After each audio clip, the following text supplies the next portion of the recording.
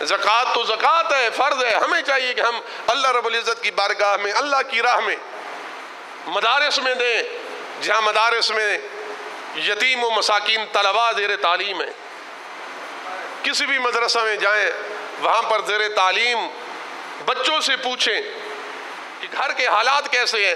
وہ بتاتے ہیں۔ بعض بچے تو ایسے ہوتے ہیں کہ جن کو والدین جن کی پرورش نہیں کر سکتے، جن کو دو یا تین وقت کا کھانا میسر نہیں، مہیا نہیں کر سکتے، ان کو مدرسہ میں بھیجتے ہیں۔ ایسے بچوں کی پرورش جو ہے وہ مدارس کرتے ہیں۔ ایسے بچوں کے پرورش مدارس کرتے ہیں جو سکولوں اور کالجز کی فیس جو ہے وہ نہیں دے سکتے۔ کہ جو مدارس میں یہ بچے آتے ہیں، پڑھتے ہیں، ان کو مدارس جو ہے وہ ان کی تربیت کرتا ہے۔ مدارس تربیت کرتے ہیں ان کی۔ مدرسے میں وہ تربیت ہوتی ہے ان کی۔ مدرسے میں یہ پڑھتے ہیں۔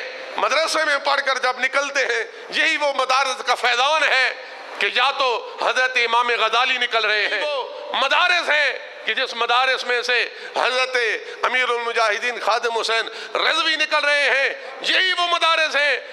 مدارس میں پیر محمد کرم شاہ الازری نکل رہے ہیں۔ مدارس ہیں جن مدارس میں شیخ الاسلام غریب نواز خواجہ قمر الدین سیالوی جیسے ہستیاں نکل رہی مدارس ہیں جس میں حضرت شاہ احمد نورانی رحمت اللہ علیہ جیسے لوگ نکل رہے ہیں۔ مدارس ہیں جن مدارس سے حضرت خواجہ غلام کمال الدین شاہ حضرت خواجہ غلام جمال الدین شاہ حضرت خواجہ غلام معظم دین شاہ اور حضرت خواجہ غلام نصیر الدین شاہ جیسے لوگ نکل رہے ہیں۔